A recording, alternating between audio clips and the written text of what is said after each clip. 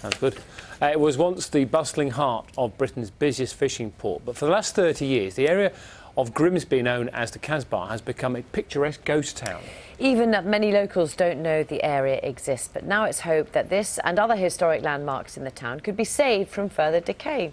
David Sillito reports.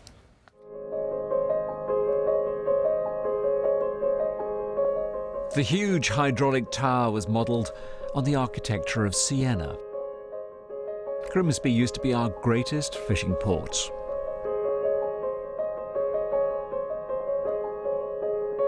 And this was its heart. Known as the Casbah, these Victorian streets are now a ghost town. Hidden behind the fences of the port, many locals don't even know it exists.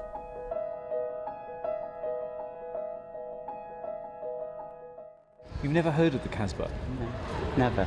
It's got shops and Not in um, Grimsby. houses. Not in Grimsby, no way.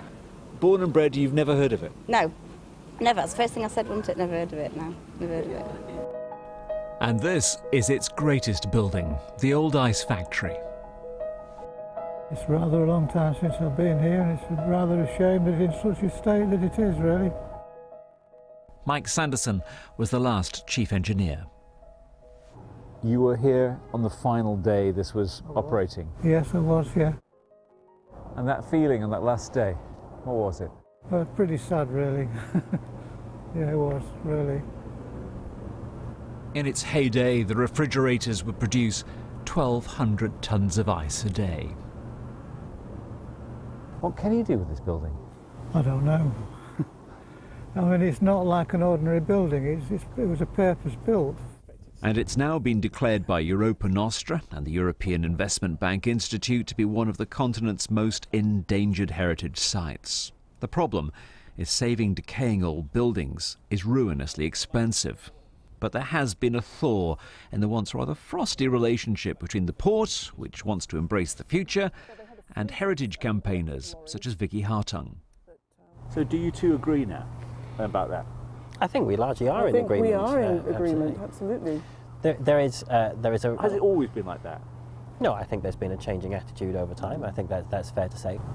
Harmony has broken out. Yes. It Yes. has. This is an empty smokehouse, but Whoa, what a smell. That's an odour, isn't it? And this tarred door is some real Grimsby heritage. The residue of a hundred years of some seriously old school smoked haddock. The heritage, does that matter to you? God, yeah, absolutely. I mean, Grimsby's, cl- you know, clutching on to the remains of a fishing industry. You care about Grimsby, don't oh, you? We all care about Grimsby, don't we? Forty years on, there is then some hope that the long decline of this hidden heritage may be coming to an end. David Sillito, BBC News, Grimsby. Started a bit of a discussion earlier when I mentioned that I've Is had it the a best. discussion or are you in trouble? I mean, a bit spot of trouble. I, I mentioned that the best fish and chips I've ever had, which Yes. is just personal opinion, were in Grimsby. And people Um, disagree. People are defending their own fish and chip shops in which various is parts of the country. Which is probably fair enough, isn't it? You'll, you- you'll have to do a survey. You need to go to Grimsby and try the fish and chips. They are magnificent. I don't know how to get the news.